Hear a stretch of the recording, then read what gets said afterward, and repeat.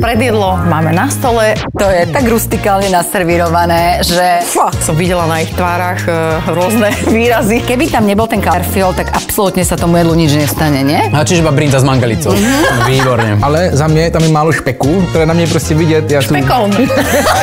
Myslím, že si to mohla trošku viacej vyhrať. Ty si dostal ten najhorší kus. Hostiteľ sa tomu jenom smie. Bez servítky. Dnes o 17.50 na Jojke.